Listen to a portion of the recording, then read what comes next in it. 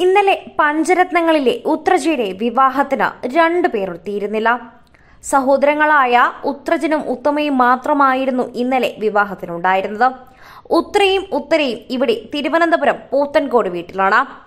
ഉത്തരയ്ക്ക് കഴിഞ്ഞ മാസമാണ് ഒരു ആൺകുഞ്ഞ് ജനിച്ചത്. അതുകൊണ്ട് തന്നെ കുഞ്ഞിനെ നോക്കി ഉത്തര വീട്ടിലും കൂട്ടിന് ഉത്തരയുമുണ്ട്. ഇന്നലെ മേക്കപ്പ് ഒക്കെ ചെയ്തു കഴിഞ്ഞ സഹോദരിയെ കാണാൻ വേണ്ടി വികാസ് തന്നെയാണ് ഇവരെ വീഡിയോ കോൾ വിളിച്ചത്. വികാസ് ഇവരുടെ അടുത്ത ബന്ധുവായി മാറിക്കഴിഞ്ഞുവെന്ന് വികാസ് തന്നെ ഇന്നലെ എടുത്തെടുത്ത് വീഡിയോയിൽ പറയുന്നുണ്ടായിരുന്നു.